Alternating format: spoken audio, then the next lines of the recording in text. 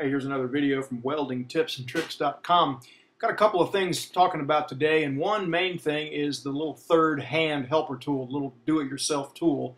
You can make these things out of almost anything laying around. You just need something that's got a little weight to it, a base, and a little uh, piece of round stock bent over, and uh, that's about it. You can make them in all different designs. This one I just happen to have a big old chunk of steel, and I got some quarter inch or 3 16th round stock, sharpened the point on it, put a bend in it, and bam, you got a third hand.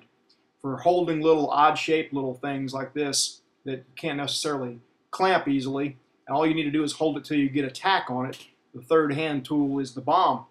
Now, I'm having a little problem with mine.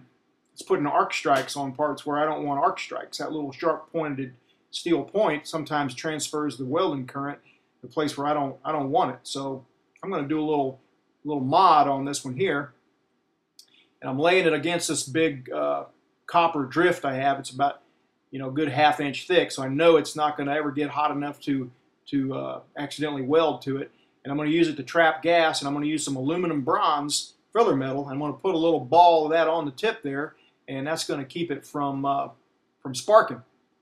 Copper is a much better conductor than steel, and I won't get that spark and uh, arc that way. So I, I'm setting this machine here just like I would weld aluminum because the aluminum bronze has got enough aluminum in it that it really scums up and, and welds fuzzy and scummy without that cleaning action of the, uh, of the uh, alternating current. So you can see I'm just using just enough heat, just adding some, you know, a little bit, a little bit, a little bit, and I'm going to wind up with a ball of copper alloy, aluminum bronze alloy on the end of my little third hand here, and now my arc strike problem is going to be fixed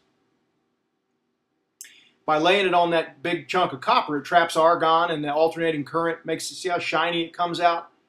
It welds really nice. I'm going to give you a little uh, example here, here too on how it can be used to overlay a little wear deposit on some steel.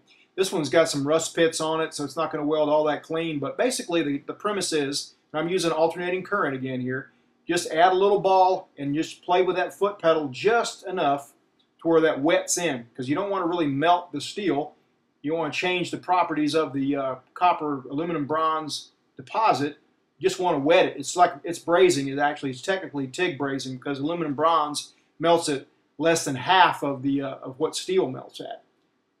So you just need to use just enough heat and keep the arc kind of over the base metal and just flow it forward and just wet it in. And that alternating current keeps the puddle clean a little bit. So there's just a little just a little tip on how that works. Now I'm going to show you again how this little thing works. I could file a notch in here. I could sharpen it just like I had the, uh, the steel point, but I'm just going to try it just like it is because I've got a couple little jobs here to do. Also, I'm going to wrap some bare copper uh, wire around the base so I'll pick up plenty of ground points off the table. And that, like, I'm going to get a tack on this thing here, and, and, and this is just a quick way. It doesn't really need to be clamped it's a really close tolerance fit.